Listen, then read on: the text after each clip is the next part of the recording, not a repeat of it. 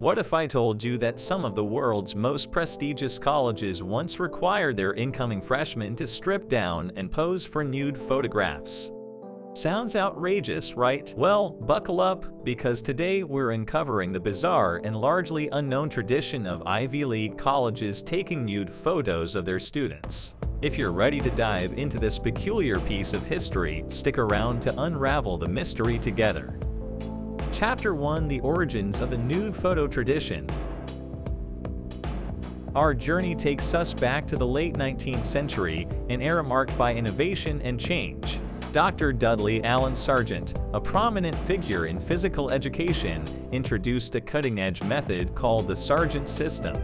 This forward-thinking approach aimed to assess students' physical growth and development by juxtaposing their bodies with a standard, idealized physique. Dr. Sargent was convinced that this comparative analysis would help educators pinpoint individual strengths and weaknesses, enabling them to devise tailored fitness programs to boost students' overall health and well-being. His innovative ideas swiftly gained traction, with numerous colleges across the United States incorporating the Sargent system into their physical education curricula. However, it wasn't until the 1940s that the practice of capturing nude photos truly emerged. This peculiar tradition was initiated by Dr. William Herbert Sheldon, an American psychologist and numismatist with a keen interest in physical anthropology. Dr. Sheldon's fascination with the human body led him to explore the relationship between an individual's physique and their inherent temperament and behavior.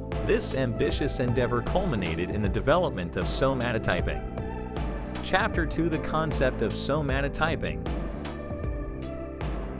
Dr. Sheldon's captivating theory posited that a person's body type or somatotype could reveal their personality, behavior, and even forecast their future success. In his research, he identified three primary somatotypes endomorphs, known for their round and soft bodies, were sociable and easygoing mesomorphs, characterized by muscular and athletic frames, were assertive and competitive and ectomorphs, with slender and delicate physiques, were introverted and intellectual. To substantiate his theory, Sheldon needed a vast collection of photographs that showcased the diverse array of body types in the population.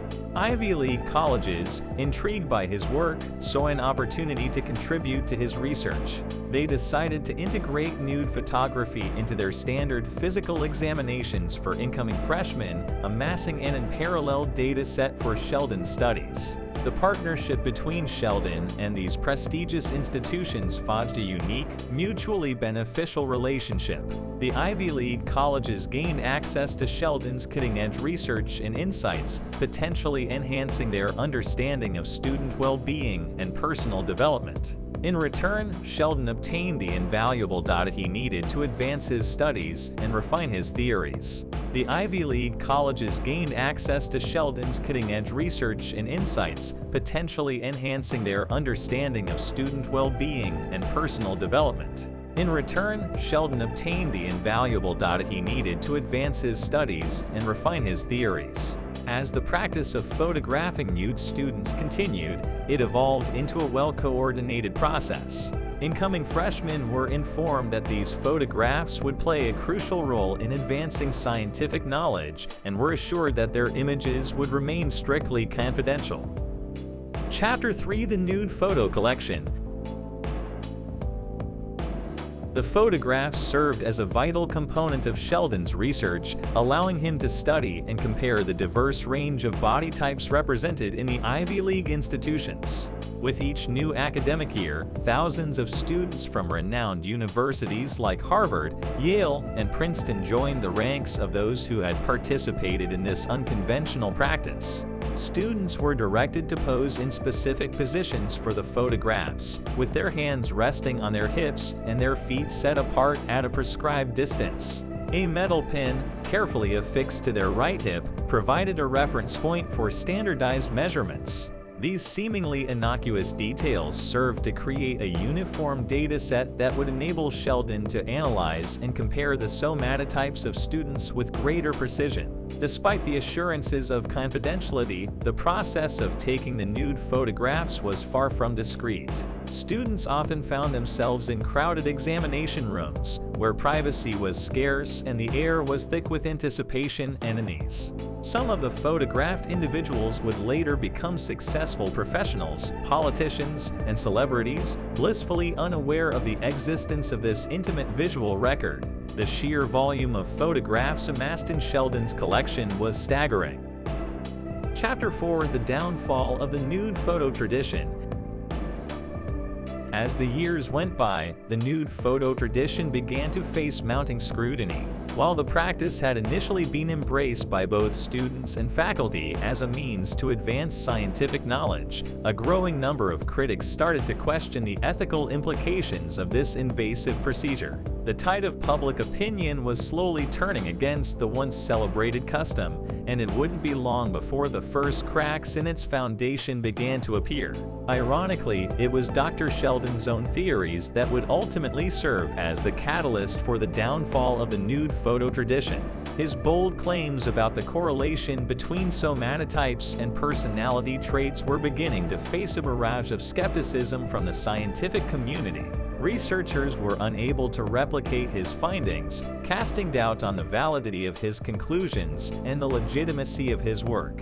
In light of the mounting criticisms, the partnership between Sheldon and the Ivy League colleges started to fray. As the value of Sheldon's research came into question, the educational institutions that had once enthusiastically supported his endeavors began to distance themselves from his controversial theories. Gradually, the practice of taking nude photographs of incoming freshmen started to wane, and by the late 1960s, it had all but disappeared.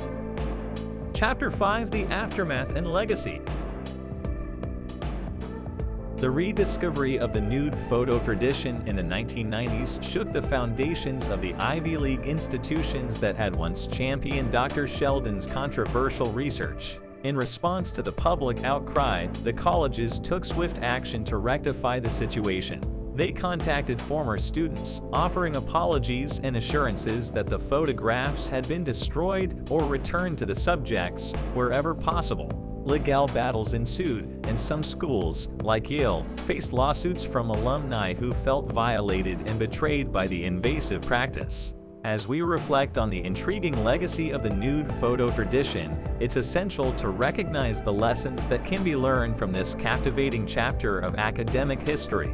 And there you have it guys, the enthralling tale of the nude photo tradition in Ivy League colleges comes to an end, leaving us with a potent cocktail of emotions, intrigue, and valuable lessons. Who would have thought that such a peculiar custom could leave such an indelible mark on the annals of academic history and spark impassioned debates about ethics, privacy, and scientific responsibility? If you enjoyed this deep dive and would like to explore more fascinating stories from the hidden corners of history, make sure to like, comment, and subscribe to our channel. We'll be back soon with another riveting tale that's sure to pique your curiosity and leave you wanting more.